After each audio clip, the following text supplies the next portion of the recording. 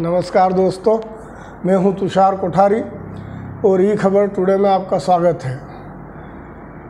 मोहनदास करमचंद गांधी, यानी महात्मा गांधी, को आम तौर पे लोग राष्ट्रपिता कहते हैं। लेकिन क्या वो राष्ट्रपिता हैं? इस विषय पे मेरा ये लेख आपके सामने है। लेख का शीर्षक है, कौन हो सकता है इस राष्ट्र का पिता?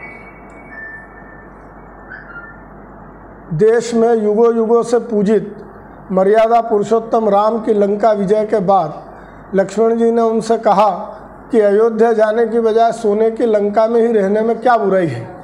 तब भगवान राम ने वह जवाब दिया था, जो आज तक देश के प्रत्येक व्यक्ति के लिए मार्गदर्शक है। भगवान श्री राम ने लक्ष्मण से कहा था कि लक्ष्मण, ये लंका चाहे सोने की हो, लेकिन जननी जन्मभूमि स्वर्ग से भी महान होती है। जननी जन्मभूमिश्च स्वर्गादपि गरीयसी।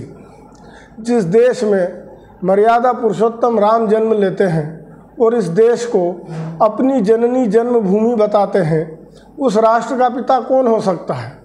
यह सवाल अब इसलिए उठ खड़ा हुआ है कि देश की राजनीति पर कब्जा बनाए रखने के लिए आज़ादी के बाद से अब तक एक वर्ग द्वारा महात्मा गांधी को राष्ट्रपिता का दर्जा दिया जाता रहा है।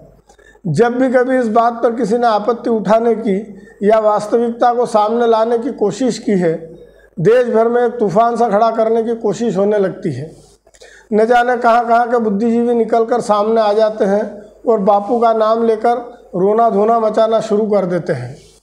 मीडिया में भी ये किस्से जमकर उछाले जाने लगते हैं।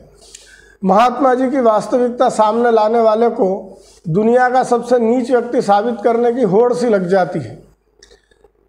स्वयं को अहिंसा और सत्याग्रह का अनुयायी बताने वाले ठोस तथ्यों को सुनने तक के लिए राज़ी नहीं होते।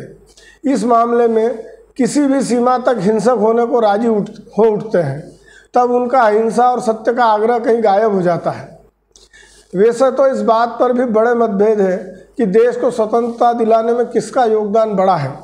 लेकिन कुछ समय के लिए यह मान भी लिया जाए कि महात्मा गांधी के चरखे और खादी के कारण देश को स्वतंत्रता मिल गई। लेकिन इस उपलब्धि के कारण यह कैसे माना जा सकता है कि महात्मा जी इस महानतम राष्ट्र के पिता हो गए, जिस राष्ट्र का अस्तित्व हज़ारों लाखों साल से है, जहाँ राम, कृष्ण, बुद्ध, महावीर, चंद्रगुप्त, चाणक्य, विक्रमादित्य जैसे महान व्यक्तियों ने जन्म लिया और इस भूमि को अपनी माता माना, जिस भूमि पर उस भरत ने जन्म लिया जिसके नाम पर इस देश का नाम भारतवर्ष रखा गया। वह राजा भरत इस राष्ट्र के पिता का दर्जा नहीं पा सका। तो क्या महात्मा गांधी इन सारे महान व्यक्तियों से भी अधिक महान थे कि वे इस राष्ट्र के पिता कहला सकते हैं? क्या इस देश के लोगों को राम कृष्ण बुद्ध, महावीर आदि की पूजा छोड़कर बापू के मंदिर बना लेने? इस महानतम और दुनिया के सबसे प्राचीन राष्ट्र का कोई पिता हो ही नहीं सकता। इस देव निर्मित भारत भूमि को तो देवताओं तक ने अपनी मातृभूमि बनाया है। इस जननी जन्मभूमि का किसी सामान्य मानव को पिता कहना अपने आप में पाप की पराकाष्ठा है, लेकिन क्षुद्र राजनीति के चलते आज़ादी के बाद से आज तक लगातार यह पाप किया जा रहा है। 15 अगस्त उन्नीस को देश को जैसी भी आज़ादी मिली, सत्ता कांग्रेस के हाथों में आ गई। तत्कालीन कांग्रेस के जवाहरलाल नेहरू जैसे चतुर नेताओं ने बड़ी जल्दी ये समझ लिया कि सत्ता पर लंबे समय तक कब्जा जमाने के लिए कुछ तो ऐसा करना पड़ेगा जिससे देश के लोग भ्रम में पड़े रहें और कांग्रेस को चुनते रहें। कांग्रेस तो सत्ता से बाहर थी। कांग्रेस को चुनते रहे। महात्मा गांधी तो सत्ता से बाहर थे ही। नाथूराम गोडसे ने उनकी हत्या करके उन्हें शहीद बना दिया। कांग्रेस के चतुर नेताओं ने इस घटना का चतुराई भरा लाभ लेते हुए महात्मा गांधी को देश का राष्ट्रपिता कहना शुरू कर दिया और सबसे महत्वपूर्ण स्थान देश की मुद्रा पर उनकी तस्वीरें छापना शुरू कर दिया। हर सरकारी दफ्तर में उनकी तस, तस्वीरें टांगना अनिवार्य कर दिया गया। स्कूल के इतिहास में यह पढ़ाया जाने लगा कि आज़ादी सिर्फ़ और सिर्फ़ बापू ने ही दिलाई।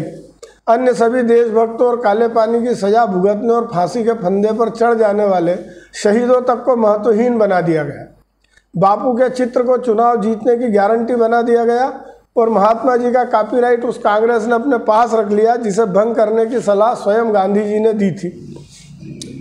बहरहाल, राष्ट्रपिता की यह तथाकथित पदवी संवैधानिक तौर पर नहीं दी जा सकी थी। यह पदवी केवल उनके नाम का लाभ लेने वालों की देन थी। लेकिन देश की आज़ादी के सत्तर साल गुजर जाने के बाद अब समय आ गया है कि इस पुरानी घिसी पिटी मान्यताओं पर पुनर्विचार किया जाए।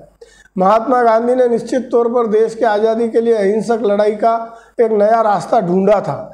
लेकिन अब इस बात का ठोस तथ्यों और तर्कों के आधार पर निरपेक्ष विश्लेषण किया जाना चाहिए कि देश की आज़ादी में किसका कितना योगदान था। और वास्तव में आज़ादी मिली किस वजह से? चंद्रशेखर आज़ाद, भगत सिंह, सुभाष चंद्र बोस और वीर सावरकर जैसे क्रांतिकारियों का इस आज़ादी में योगदान गांधी जी से कम था या अधिक? और क्या ऐसे देशभक्तों के साथ अभी तक अन्याय नहीं हुआ है? देश के नोटों पर सिर्फ़ गांधी ही छाए हुए नोट पर सुभाष या आज़ाद क्यों नहीं है? देश की नई पीढ़ी को तथ्यात्मक सत्य बताए जाने चाहिए। गांधीवाद ही अंतिम सत्य नहीं है। और इसलिए गांधी जी के बारे में प्रतिकूल विचार रखना कोई अपराध नहीं है। गांधीवादियों के मुताबिक, अगर देश की आज़ादी गांधी के प्रयत्नों का परिणाम है तो इसके विपरीत विचार वालों की मान्यता यह है कि गांधीवाद पर चलकर देश को फ़ायदे के बजाय नुकसान अधिक हुआ है। यही कारण है कि खादी, दिखावे की चीज़ ही बनी रही, उपयोग की नहीं बन पाई। गांधी जी की नीतियों की आलोचना कर देना ऐसा भी गुनाह नहीं है कि माफ़ी मांगना पड़े। बच्चों को यह सिखाया जाना चाहिए कि महानतम राष्ट्र के हम सब बच्चे हैं और इसका पिता तो भगवान भी नहीं बन सकता। इस देश का कोई राष्ट्रपिता नहीं हो सकता। तो दोस्तों, मेरा लेख आपको कैसा लगा?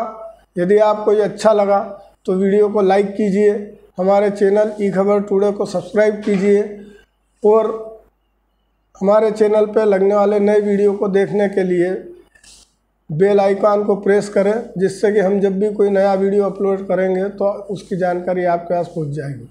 नमस्कार।